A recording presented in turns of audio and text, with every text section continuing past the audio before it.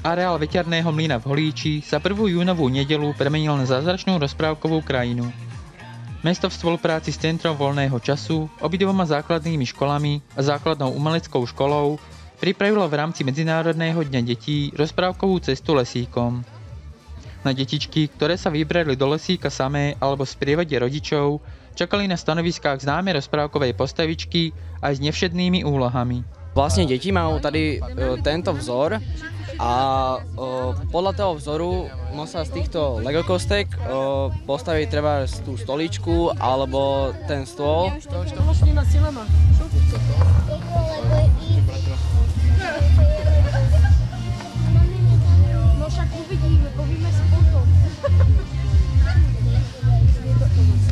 Deti majú za úlohu v tomto stánku poskladať dvojice rozprávkových hrdinov, ktoré k sebe patria. Ja to vím. No vidíš to, my už nejsme deti. Je to pohodku som videl. Ukáž? Hulk a Spider-Man. No nevím, či to má. Áno, Áno, má tak vysať hore nohama? Áno. Spider-Man, áno. Hen máš morskú vílu. Ja už vím ďalší. Ja vím. Ja už vím. Naše stanovisko sa skladá z dvoch častí. Na prvej časti deti hádžu koleska na o, kužel a v druhej sa snažia loptičky, alebo máme aj raketky pre odla- odvážlivcov a hádžu ich do dyne.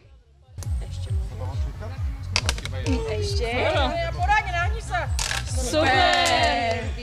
Paď teraz tu.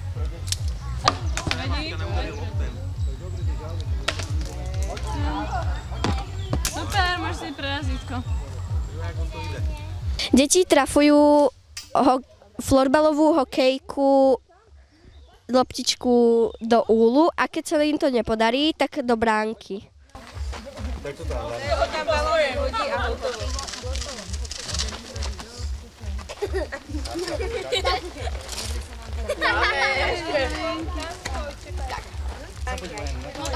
To še nie, ja som netrefíť.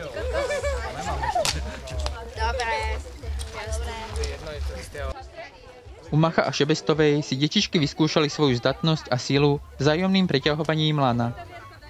Na ďalšom stanovisku u šípkovej ruženky sa zase preobliekli za satočných rytierov a za pomoci koníka prekonávali prekážkovú dráhu. U vodníkov boli deti veľmi opatrné, aby bez problémov mohli preniesť pingpongovú loptičku na lyžičke do pohára. U rozprávkových šašov museli nájsť správnu cestičku a zastaviť z postrihaných častí obrázok. Lesní škriatkovia dbali najmä na presnosť, pretože tu deti museli šípkou trafiť nafúknutý balónik. Keď všetky úlohy detičky splnili, dostali zaslúženú sladkú odmenu. Okrem rozprávkovej lesnej cesty bolo pre deti pripravené malovanie na tvár, nafúkovacie atrakcie a diskotéka. Nechýbalo ani občerstvenie a stánky s pochutinami či hračkami. Organizátorov určite potešilo, že si k veternému mlynu našlo cestu veľa detských návštevníkov, ktorí sa aj s rodičmi dobre zabavili a užili si príjemné rozprávkové popoludnie.